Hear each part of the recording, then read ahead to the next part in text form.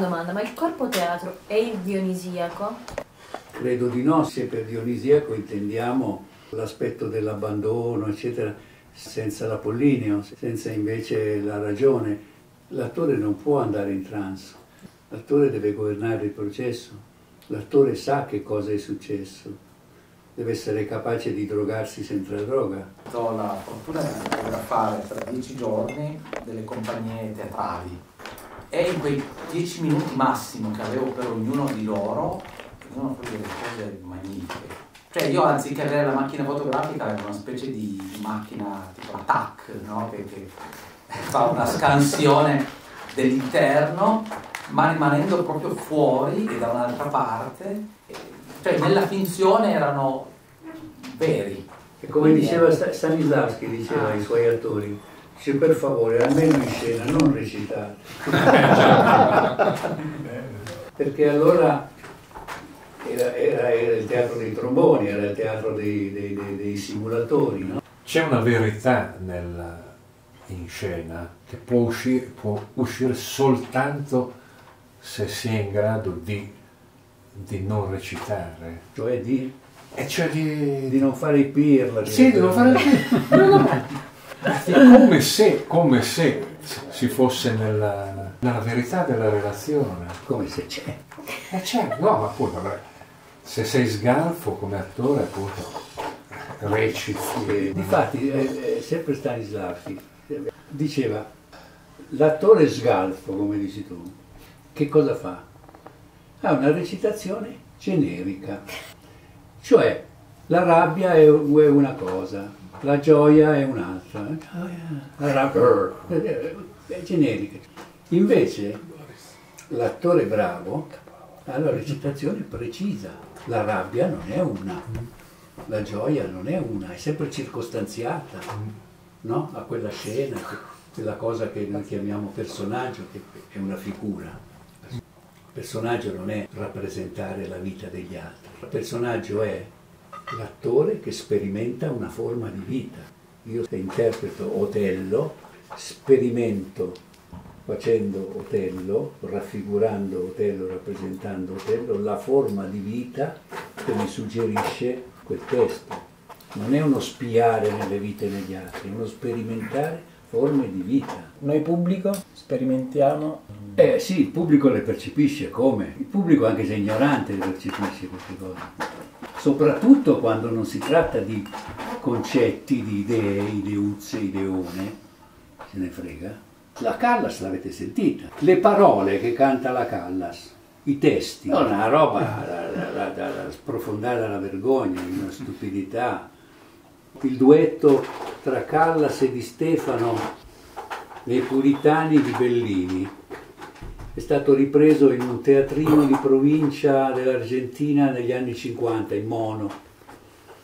È una cosa sublime. Il testo è Vieni, vieni fra queste braccia, sì, caro, vengo, vieni, vengo, oh caro, amore, mio caro, vieni, vengo, vengo, vieni. No, ragazzi, è una bruttezza imbarazzante. Sentiteli, soltanto un, un caprone può non piangere quando li sente. Quello è teatro. La parola è l'ombra della voce, la parola è l'eco del gesto. Quell'altra cosa non è un concetto, non è un'idea, è un pensiero all'opera, un pensiero laddove per, per pensiero si intende incarnato. Diciamo. L'incarnazione che si... è come faceva Carvelo Bene in chiave, in chiave ironica, rappresentava Cristo che si chiodava sulla croce. È la stessa cosa girata in chiave comica, in chiave derisoria. E questo Aristotele lo dice molto precisamente, dice questa è la cosa che ci permette di godere anche di cose terribili che noi vediamo a teatro, però noi proviamo piacere, perché questo piacere è la conoscenza. Conosciamo queste cose senza subirle, come capita nella vita. No? Il paradosso della finzione. Che è vera, però è anche, è anche arte. Infatti fingere vuol dire fare ad arte. Se fai senza arte, non fingi, simuli. Infatti in inglese dice act agire. Tutte le lingue si dice giocare, no? invece recitare viene dalla retorica latina. Però ci vuole un po' di tecnica. A voglia, bisogna avere una voce, bisogna avere una maschera, bisogna capire, per esempio, la maschera. La maschera non è la faccia, la maschera è il corpo. Tutto il corpo è maschera, anche quando hai la maschera. Non è soltanto lei che esprime, lei esprime nel contesto del corpo. E quindi più sai fingere e più sei vero, più stai... Esattamente. Sì? Eh, non è facile. E bisogna imparare. Farsi il corpo teatro. Ma pensa tu cosa sarebbe una educazione che ha per obiettivo quello di farsi, ognuno si faccia il proprio corpo teatro. Questo probabilmente non va d'accordo con la modernità, no? Non va d'accordo con la fabbrica, non va d'accordo con, con l'impiego in banca, non va d'accordo con un sacco di cose, no? Ma presupporrebbe l'invenzione di un mondo nuovo, di un mondo completamente diverso. Non facciamo finta di saperla troppo lunga. Noi non possiamo sapere cosa sarebbe una vita diversa e cosa sarebbe un mondo diverso. Questa è la maledizione del Novecento, l'utopia. Io disegno la società felice e, e faccio la rivoluzione per realizzarla. Ma no, chi, chi può sapere cos'è la felicità? Non si può disegnare il futuro. Si può cominciare molto modestamente da quello che Nagarjuna, il grande scolastico buddista, definiva lo sterminio degli errori. Cioè, la verità non sappiamo cosa sia, non sappiamo se esiste la verità con la maiuscola. Lavoriamo sullo sterminio degli errori. Quello, quel, nei, nei confronti degli errori dobbiamo essere spietati. La costruzione del corpo teatro comincia subito, appena nati. Quindi uno comincia a cambiare subito. E allora sarebbe importante o no? Sarebbe meglio o no che noi, consapevoli di questa cosa, ci ponessimo la questione di come formare i cittadini, perché stiamo parlando dei cittadini, cioè delle persone che vivranno una vita di interazione con altre persone, no? Sì, i cittadini che devono vivere in una comunità. Perché non porci consapevolmente questo problema? Posso avere un goccio di chi? Certo. Però sembra un'altra utopia così. Sembra un'utopia, no? È la... Uh, uh, Scusa, mi sono distratto. Un goccione. prendine un po'. Eh, È, come un'idea eh, giusta, ma assolutamente giusta, insomma, io la ritengo giusta, sensata, ma assolutamente irrealistica nel mondo di oggi. Certo, che si può fare? Lavorare per contagio è l'unica cosa possibile. Mm.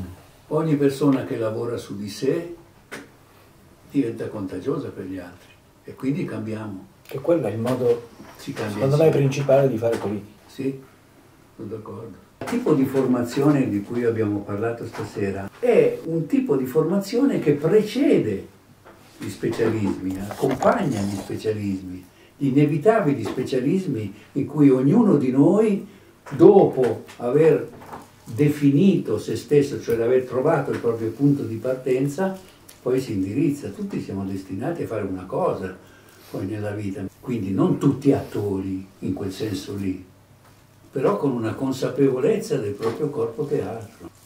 Ma come potremmo trovarla questa esigenza? Perché senza l'esigenza non, la- non ci muoviamo mai poi alla fine.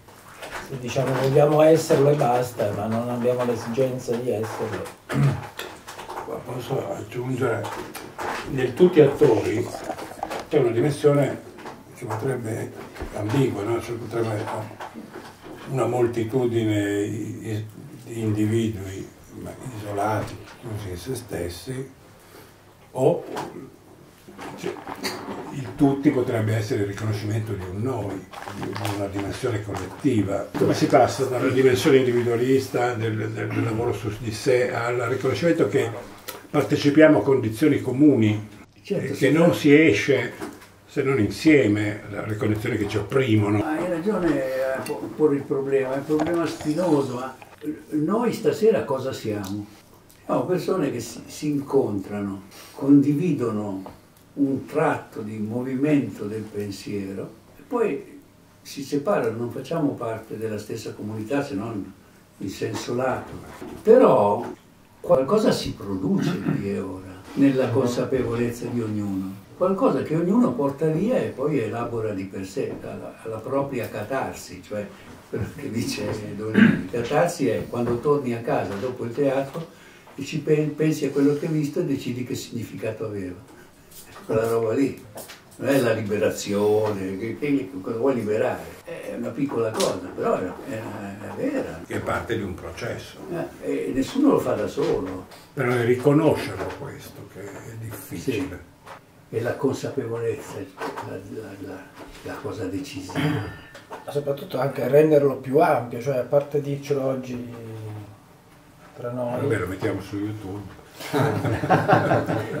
Ma che cosa ci impedisce di desiderare una socialità diversa da quella che non ci piace? No, ma il desiderio c'è e non c'è l'esigenza. No, dai, il desiderio e l'esigenza, dai, il desiderio c'è. Quindi rispetto alla sua domanda, l'esigenza come si crea di questo cambiamento? Il desiderio dovrebbe, e a volte capita, diventare politica. Questo desiderio dovrebbe diventare politica, cioè esigenza cioè movimento collettivo. Può diventarlo soltanto se si intensifica, se oggi siamo noi e domani no, se, se qualcun altro sta facendo la stessa cosa, perché no? Se, senza dubbio, se noi siamo qui e ci diciamo certe cose, ci sarà altra gente che dice le stesse cose da qualche altra parte. Lui non avere questa esigenza di consapevolezza di sé. Che forse sia ancora uno stadio prima, io vedo questa esigenza non c'è, perché vedo che si riferisce ancora a un forte senso di inadeguatezza rispetto al mondo, a quello che il mondo ci chiede. Per cui mi chiedevo anche, ti, ti chiedo anche come questo corpo teatro può in qualche modo eh, aiutare a superare questo vissuto di inadeguatezza che è potentissimo, trasversale, che, che ci riguarda anche tutti, credo. Pensa ai social come tutti si, mm. Si autorappresentano, tutti in scena forme di autorappresentazione che rispondono alle aspettative stereotipate. Ma sui social è tutto in vendita, no? La vendita cioè, può essere la persuasione, la seduzione, ma è tutto, è tutto diventato vendita di se stessi, cioè se stessi come merce, cioè un sostituto dell'erotismo. Tant'è che la, nelle culture avanzate sempre di più noi stiamo cambiando il nostro rapporto con la sessualità. Sempre di meno si fa sesso, cioè, perché le endorfine divengono dai, nei social. Il rapporto con la sessualità nei paesi avanzati, nei paesi ricchi, sta cambiando, sta cambiando radicalmente. È sempre meno vissuta come un'avventura, come un piacere, invece c'è rischio, schifo, un sacco di cose, aggressività, competizione, ansia da prestazione, un casino. Sempre meno corpo. È un problema terribile invece di essere una risorsa, è un problema. E quindi la scelta saggia a molti è di ritirarsi. Anche questo fenomeno inedito, nuovissimo, è sempre più massivo. Ritirarsi dalla sessualità per non affrontare il problema. abbiamo eh, a che fare con problemi enormi, però sono problemi teatrali. E noi finché siamo vivi, però non con l'utopia, non Ma... con l'utopia, con l'azione psicofisica quotidiana, con la, con la gnosi. La... E poi dramma vuol dire azione. Esatto. Insieme, il dramma non si fa da soli. Credo che nessuno di noi sia pentito di aver passato questa serata. Se noi siamo gratificati da, da pratiche di questo tipo, questo vuol dire che il fenomeno può essere contagioso. Uno c'è prova. Che, che altro si può sperare? Sono dieci anni che ci stiamo provando. Ma non è, che, non, ci, non è vero che ci provi, lo fai. Fai quello che puoi. Diceva Carmelo Bene, il genio fa quello che può